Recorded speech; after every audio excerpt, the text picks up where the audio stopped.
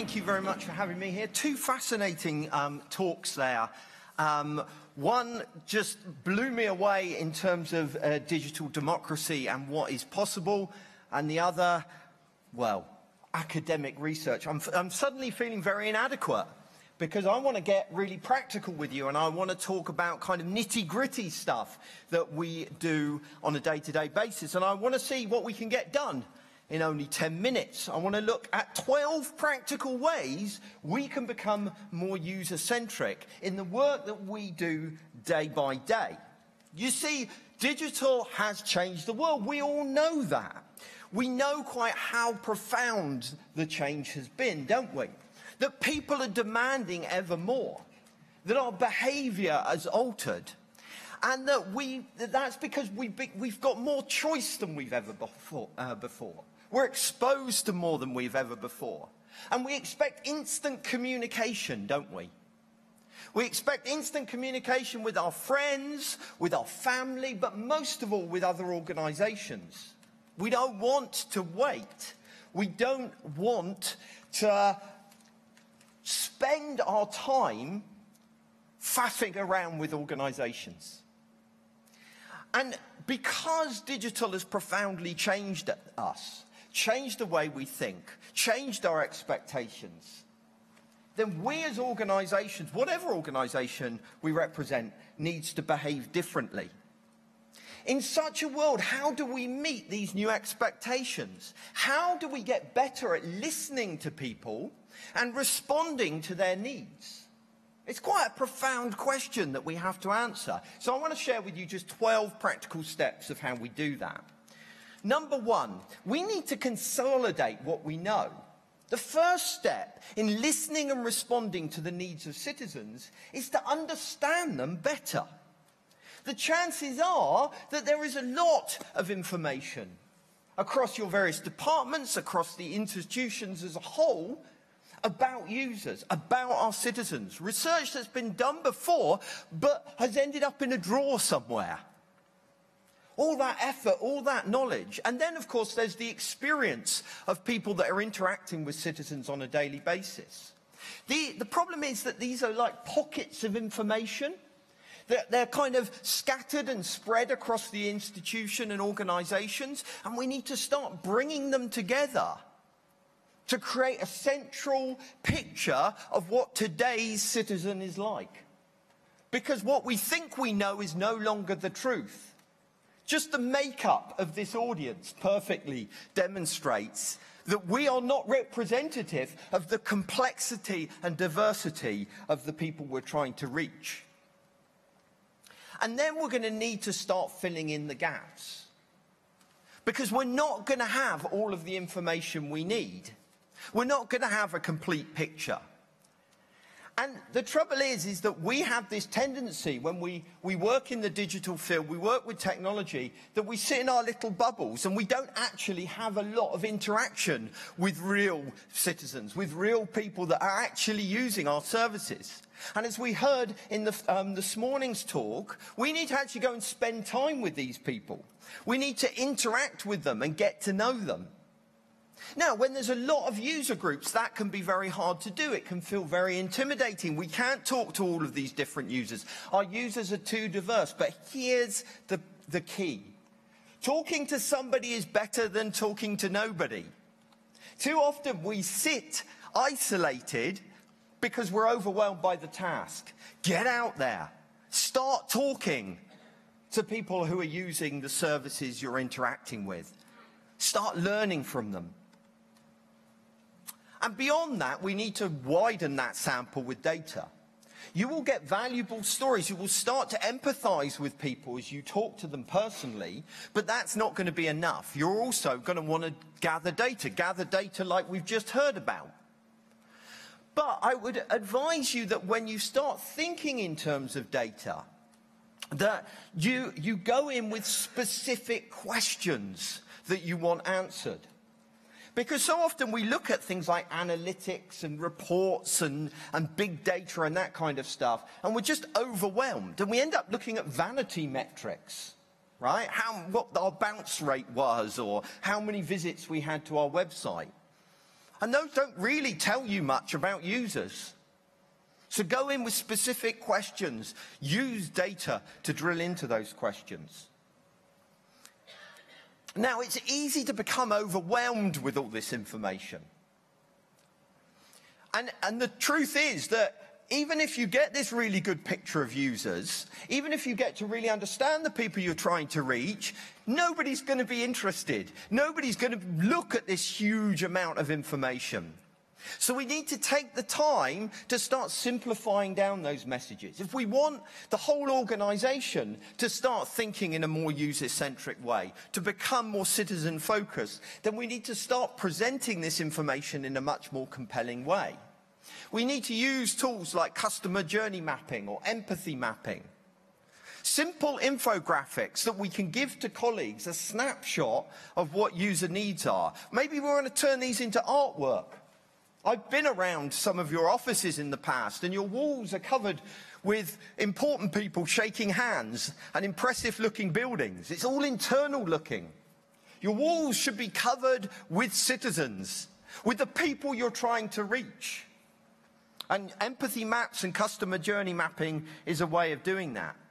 We need to start approaching projects differently too.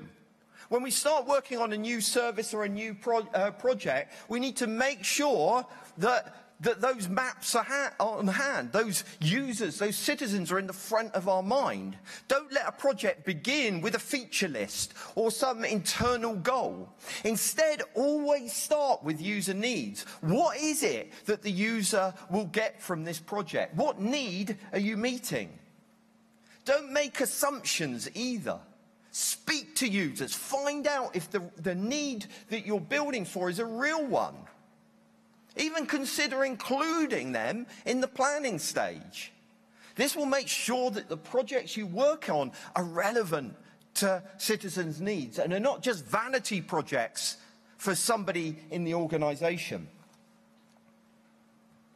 We need to start prioritizing the projects we work on based on user needs as well. Unfortunately, we, we've all got limited resources to work with. There's only so many projects we can take on, and projects that actually fundamentally help users often get sidelined in favor of some senior manager's pet project. And that has to change. So we have to stop prioritizing based on who shouts the loudest and work with colleagues and with management to agree a framework, a policy for prioritizing what we work on. A policy that's built around user needs, not eternal, internal agendas. We need to be focusing content creation around user needs as well. Content creation often, suffers from a similar problem to projects. It starts from the premise of what do we want to say to the world rather than what does the user want to know. And that has to change. When creating any content, we need to ask ourselves two fundamental questions. What does the user want to know about this subject and what should they be doing next? But as we create content, we need to be careful of edge cases. Another issue with content creation is that we become caught up in complexity. We, we need to ensure clarity if we want to clearly communicate with users. One of the biggest problems with government in its various forms is it's not clear and transparent in a way that people can understand. And this is often a problem with edge cases, user groups that have maybe a slightly unusual need or a specialist user group that's unusual. Now, we don't have the luxury of ignoring these people, but we need to be careful that in our attempt to address their problems, we don't end up adding more complexity for the majority. So edge cases are something we need to pay a lot of attention to. We need to change the way we work as well. We need to build uh, digital services around needs, but we also need to build them um, in a different way, in a new way. We can't run these projects in the same way as we've run projects in the past. Big technological rollouts or building a building. This is a fundamentally different thing if we want to be user-centric. Not if we want to include the user's voice in the process. We need to approach things differently.